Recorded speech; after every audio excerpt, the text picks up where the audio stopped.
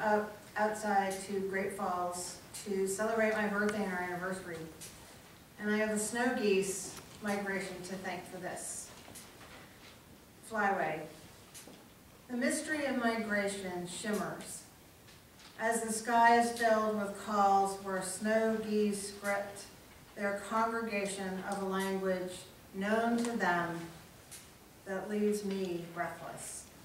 Beside the lake half frozen, brushed by warming sky, my shadow long before me, I wonder at the skeins of whistling wings, whose calligraphy, whose calligraphy floats above the copper willow, the brassy fields of grain. This wild call of thousands transforms the moments of a March morning as I ache to fly in filaments, to write my birthday across the forever blue, beyond the front of mountains, over the tawny buttes and bluffs, ignited by this sunrise.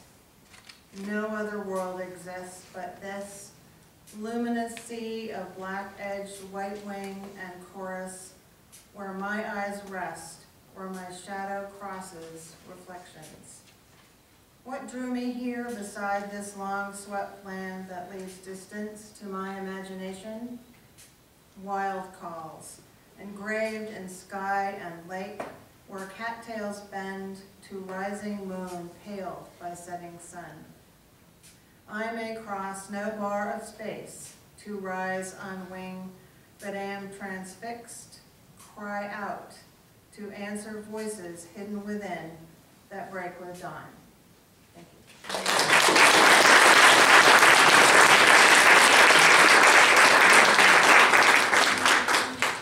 finished